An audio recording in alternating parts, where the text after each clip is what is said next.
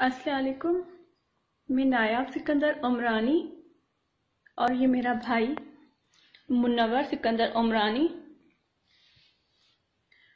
हमारा ताल्लुक जेकमाबाद सिंध से है। मैं बलोच हूँ। मेरी वालदा को, मेरे जवान भाई को, मेरी भाभी को और मेरी बहन को, जिसके तीन छोटे छोटे बच्चे हैं, मेरे सोतेले भाइयों ने हमारी जायदाद पर कब्जे की लालच में मार दिया। इकतीस मई 2018 को जैकमाबाद में मेरी बहन एडवोकेट सनम सिकंदर उमरानी को मेरी आँखों के सामने मेरे सोतेले भाइयों ने बेदर्दी से मार दिया। आज मैं बहुत मजबूर होकर ये वीडियो बना रही हूँ। छह जुलाई को चीफ जस्टिस ने मेरी एप्लीकेशन पर सो मोटो नोटिस लिया।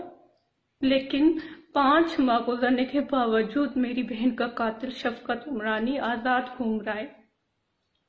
सिंध हाई कोर्ट में मेरे सोतेले भाई कोशिश कर रहे हैं एंटी टेररिज्म की दफात खत्म करवा दी जाए ताकि केस कमज़ोर हो।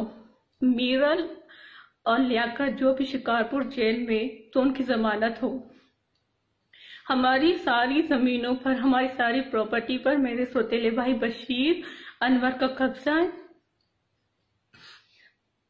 हमें ये लोग जान से मारने की धमकियाँ दे रहे मेरे पूरे खानदान को मार दिया, मेरी वालदा को मार दिया, मेरे जवान भाई को मार दिया, मेरी भाभी को मार दिया, मेरी बहन को मार दिया और मेरे मुनवर भाई। इसकी दिमाग की हालत ठीक नहीं है। उसके भी जिम्मेदार ये लोग हैं।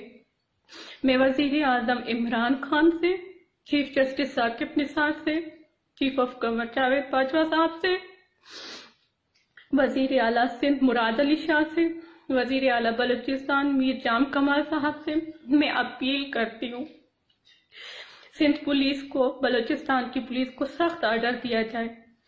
मेरी बहन के कातिल शफकत उमरानी को जल्द अज जल्द गिरफ़्तार किया जाए और हमारा हक इन तालिमों से हमें दिया, लेके दिया जाए।